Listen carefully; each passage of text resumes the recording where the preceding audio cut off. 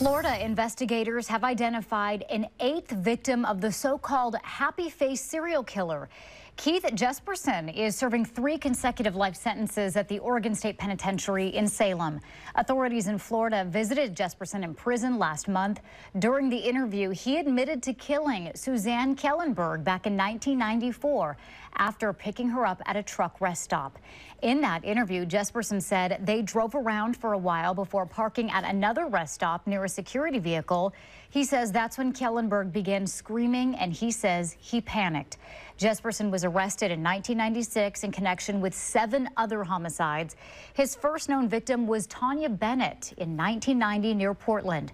He also killed Laurie Ann Pentland in Salem in 1992 and Patricia Skiple of Colton. Then she was found dead in California in 1993. Jesperson wrote letters to media outlets and police departments confessing to his murders. He signed each with a smiley face. That's how he got his nickname. Jesperson committed his crimes across state lines as a long haul trucker.